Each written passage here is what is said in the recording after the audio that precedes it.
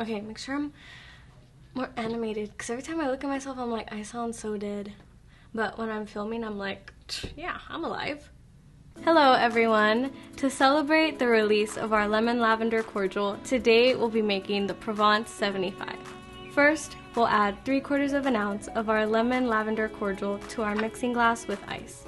Now we'll add 1 ounce of gin and give this a short shake. Strain into a chilled champagne flute and top with sparkling wine.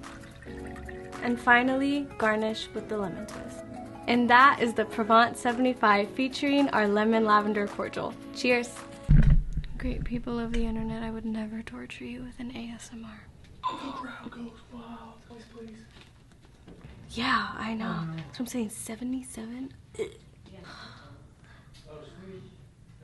Imagine it's like fan